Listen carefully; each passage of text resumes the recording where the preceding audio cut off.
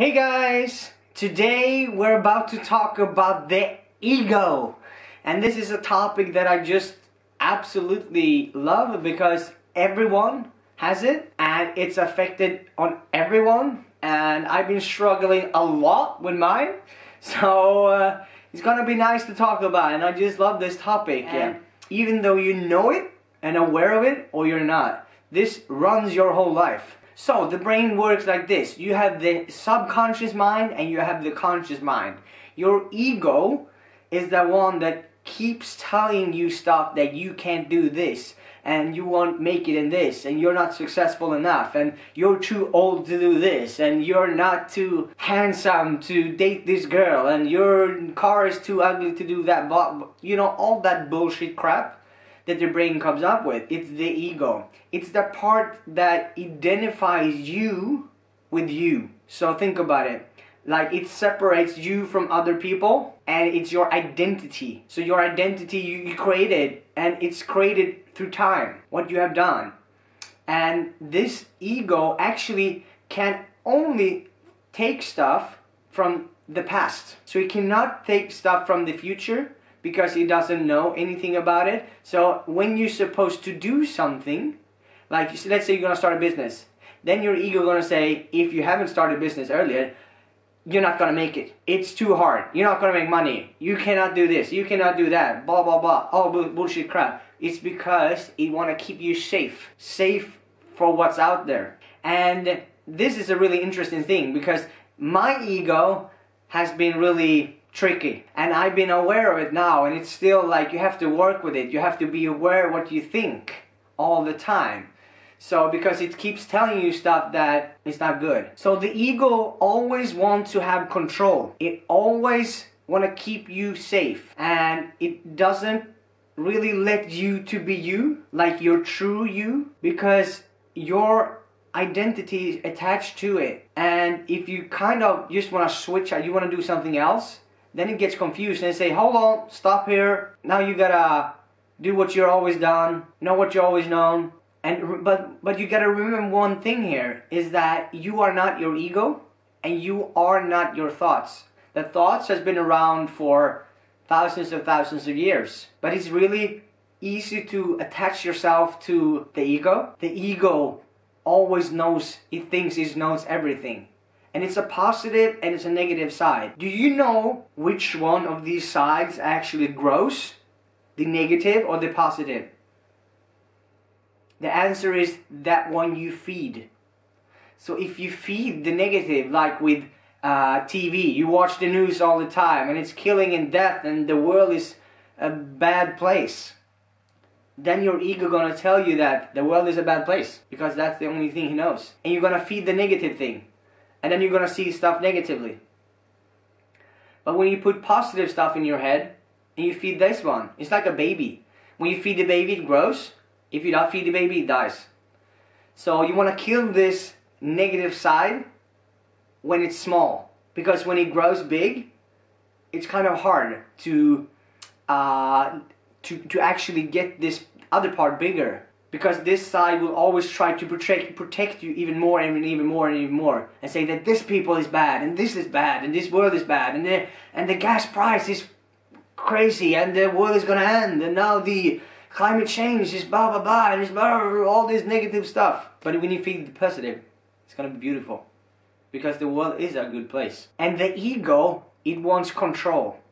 It wants it wants perfection and it wants control. It wants control everything. But control is the more you control you're trying to have, the less you will have.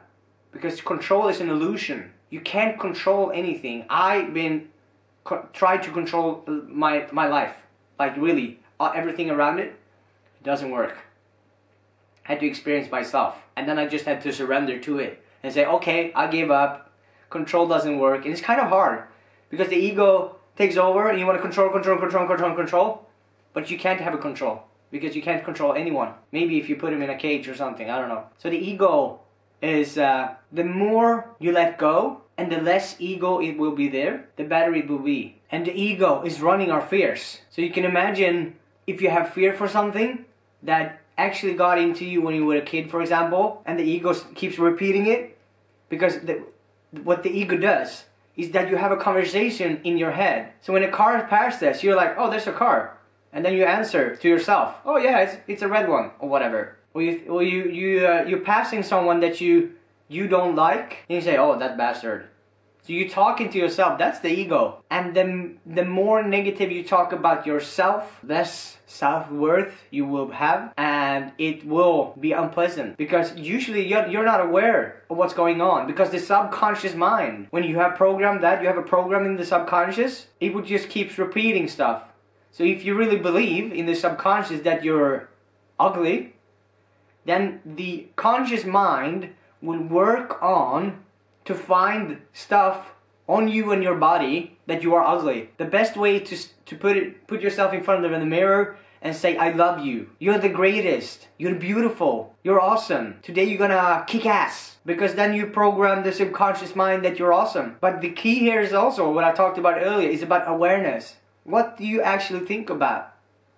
What's going through your mind? What do you think about other people? Well, actually, it's a reflection of what you think about yourself. So, what do you think about yourself? What do you say to yourself? This ego part is uh, when you can try to manage it better and you're aware of what you're thinking, your life will change. So the ego will find problems on other people, on other things. And it does that only because the brain is, is wired that long time ago, hundreds of thousands of years ago, we need to find, we had to find all the, all the faults on everything and everyone. Because if we didn't, we maybe died. So it's a survival instinct to find the what's actually wrong with other people and other stuff and other cars and whatever things. So that's why this this keeps happening. But when you're aware of it, you can like kind of hmm, oh, I don't know. Doesn't matter if you don't need to fix it. And the ego is all about me, me, me, me, me all the time. Because we, when we were kids and we were growing up, it was all about me, me, me, me. Because otherwise, we didn't survive. So the ego has always been about you and that your needs are getting met. Ego is kind of clingy. It doesn't want to change. And when someone tells you something, you kind of react and say, hey, no, no, no. So this part of you say, why is this motherfucker telling me this, blah, blah, blah, blah. He's a bastard. Instead of taking, taking in the information and solve it. So it kind of want to, it's react, in reactive mode all the time. Yeah, so this is a short presentation of what the ego is. And I've been playing a lot with it and you just get awareness around it. You can do it as well. You just get awareness. What's your thoughts? Write them down. Because otherwise it's running your life and uh, I've been experiencing it. Now you kind of know. What do you think about yourself? What's your beliefs about you? Is it bad or is it good? It's fun to play with. You see what comes up. You're walking around and you talk this bullshit crap to yourself that is not even true. Then you know and then you can change it. You have the power to change it. And that's the beautiful part with it. You can change anything. You can choose your thoughts. That's the power. The power of the mind. Alright, so this time was about the ego. Next time, we'll see what comes up. Leave a comment or whatever if you want to uh, share something about the ego and what your thought is about it. Uh, until then, I post and next week there will be a video about something, I don't know. So, see ya.